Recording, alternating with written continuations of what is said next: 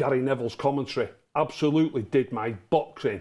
Absolutely did me boxing. He spoke about us getting a point there with a with a with a six-man defence under Mourinho and what a boring game it was. Gary, if you're watching, are you not a United fan? Would you rather go there and lose 3-0? Do you know what I mean? Today he said at one point he said it looks like it's going to be a drab, boring nil-nil draw.